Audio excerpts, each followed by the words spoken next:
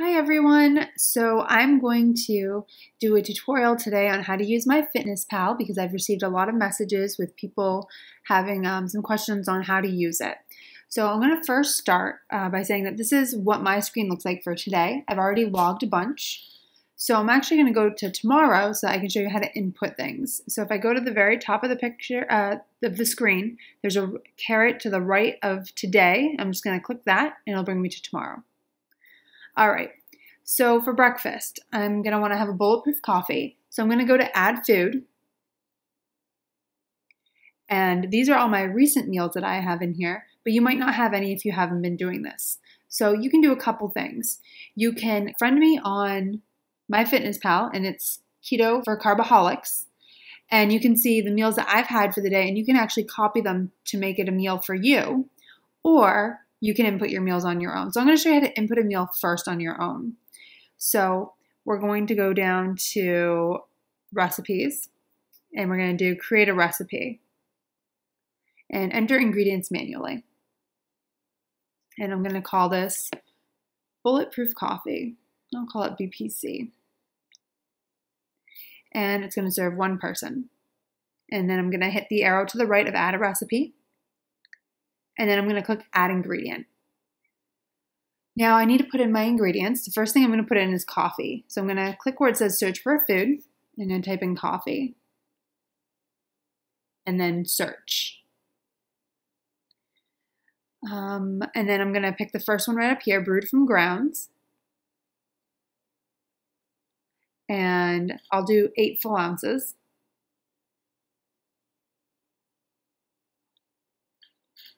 And then I'm going to add another ingredient. I'm going to add butter. Now, when you're searching for the ingredients, you're going to notice that a lot of different ingredients pop up. You can go for your specific ingredient you're using. Um, so, for instance, we can scroll down and find the brand of butter. Uh, we'll use Kerrygold butter. And I'm going to put one tablespoon in. So I'm going to hit OK. And then I'm going to add the MCT oil.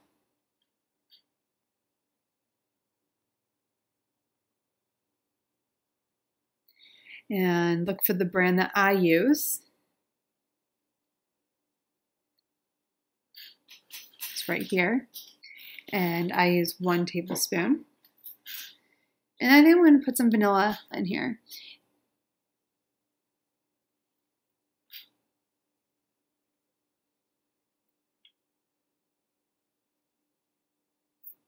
All right, just like that. And I'll put in uh, half a teaspoon.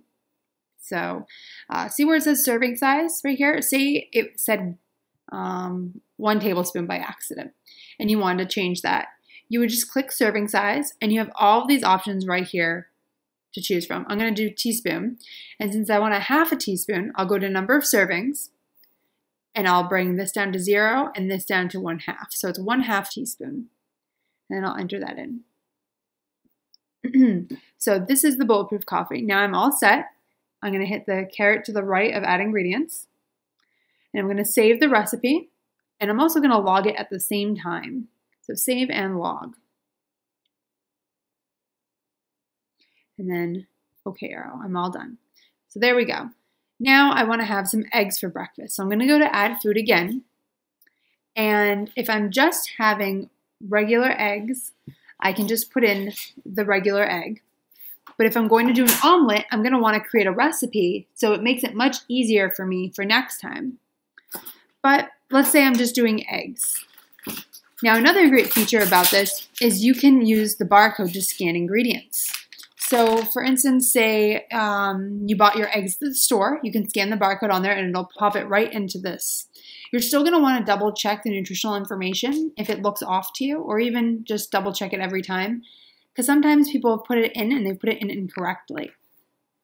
So I'm going to go ahead and put eggs in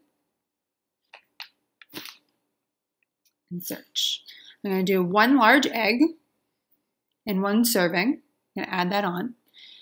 And then I think I'm going to do a piece of bacon. I always do thick cut bacon, so I'll type in thick cut And so see, it already popped up with what I use because I use it very often. So I'm going to click it. And I usually do two slices and it knows that. So it put it in for me. And so that's it. That's my breakfast. Now, I'm actually upgraded recently to the premium subscription. So it tells me right here at the breakfast that I've had 0.4 grams of carbs, 43.8 grams of fat, and 16.6 grams of protein um, for this meal. One thing you do have to keep in mind is that this is not your net carbs. So, to know your net carbs for the day, you want to go, you're going to want to come up and you want to just click where it says the 1432, the, the 439, just click right up at the top. So once you click it, it's going to bring you to this screen. It's going to show you the nutrients. Now, right here, I have zero carbs, but if I did have carbs here, uh, it would tell me my total, and then I would subtract the fiber right below it, and that would give me my net carbs for the day for this meal. So let's go back to that other screen. You're going to hit the X right up at the top. So I've added my breakfast in. I know what I've eaten so far today. I've had 439 calories, and I have 993 left. So I'm going to go down um, and I'm going to go to lunch and I'm going to add something. I'm going to go to recipes because I have a bunch of recipes put in here. Um, for my lunch, I'm going to do a bunless burger. So I would just click that, click that, and I'm having one, so one serving, and I'll put that in. Now see how much easier it is to add in a meal once you've already created a recipe? It may take longer in the beginning, but it's going to save you a lot more time long run. Um, now let's see. I also want to have a spinach salad.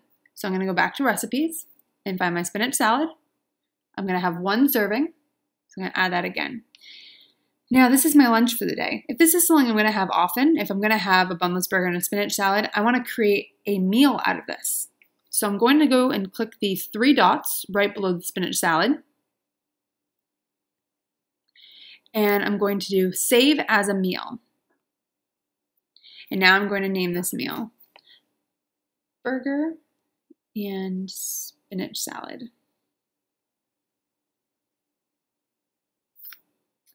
And that's it.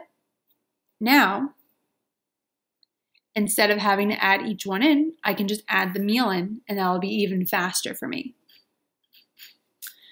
Now, say I'm getting close to dinner and I don't know what I've had for carbs today. Um, I don't know what I want to do for dinner. So I'm going to go back up to the top and click here. And it's going to show me what I have. So for the day, I've had three grams of carbs so far. I'm going to minus my one gram of fiber. That brings me to two grams of carbs. I have plenty of carbs left for dinner. Uh, protein at 67. I only have one gram of protein left, so I need to keep it low on the proteins. And fats, I have plenty of fats. So what could I do? I could look through my meals to see what I have that's available in that, or I could wing it, um, or I could do some fat bombs. I think I'm going to do some fat bombs because I really want one and I need the fats. So I'm going to go to recipes. I'm going to look for the fat bomb I want. Let's see, where are you? Here you are. This one's a good one because I have higher fats and low protein in this. So I'm going to do, I'm to have two of these. So I'm to adjust my servings. I'm to enter that in. Great, I've now hit my protein goal. And let's go see what I have available for me. All right, so I have four grams of carbs left. I've gone over my protein by three grams. Um, and I still have some fat to get to. So what I'm going to have to do in this case, I'm going to have some MCT oil, um, and I'm going to look at a, a couple different op options for what I have to eat for this meal.